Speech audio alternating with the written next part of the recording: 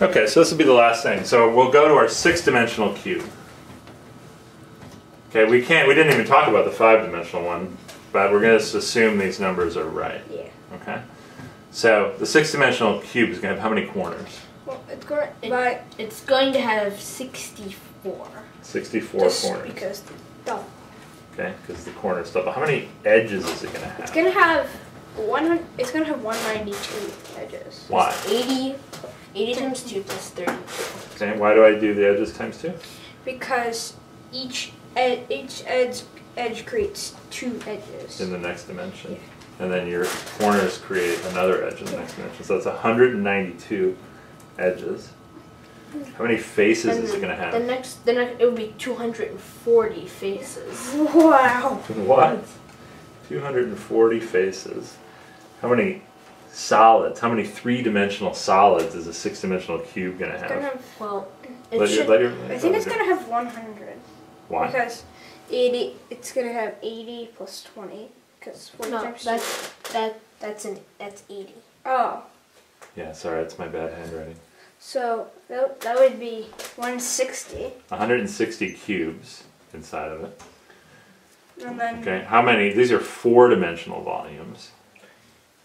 So, So this one should have 60. 60 four dimensional volumes. 60 hyper volumes. Okay, so five volume. If I, if I extended his chart this way, it'd be zero, zero, zero, zero, zero, one, right? Hmm. The hyper hypercube would be the first one that had five dimensional volumes. So how many five dimensional volumes would the six dimensional cube have? it would have well, it would have twelve. It would have twelve. Yowza. And how many six dimensional volumes would it have? It would have just one. One. Wow. So that's what a six dimensional. So even though that is very difficult to visualize, Yeah. right? If I said um, to you, I want you to go in the living room and you can't come out until you have a six dimensional cube visualized, that'd be hard, right? Yeah. Yeah. But now you know what it looks like. It has 64 corners, 192 edges, 240 faces, so 240 squares, 160 cubes, 60 hypercubes. So this might take a while to make, right? Yeah. 12 five-dimensional little sub-volume sides. Those are like the those are the equivalent to the sides of the cube or the pyramids that you were just looking at.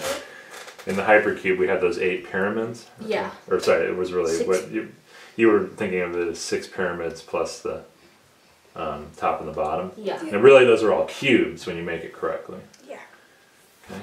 So there we go. So we saw some patterns in this chart, and now any dimension I gave you, you could figure out. If I said figure out what what a twelve-dimensional cube is going to look like, you could actually just continue on this chart. Yeah. That'd be pretty neat, right? Yeah. Okay. All right. Good job, guys. That was a tough project, but that uh, teaches you a little bit about higher dimensions. Yeah. All right. Good job.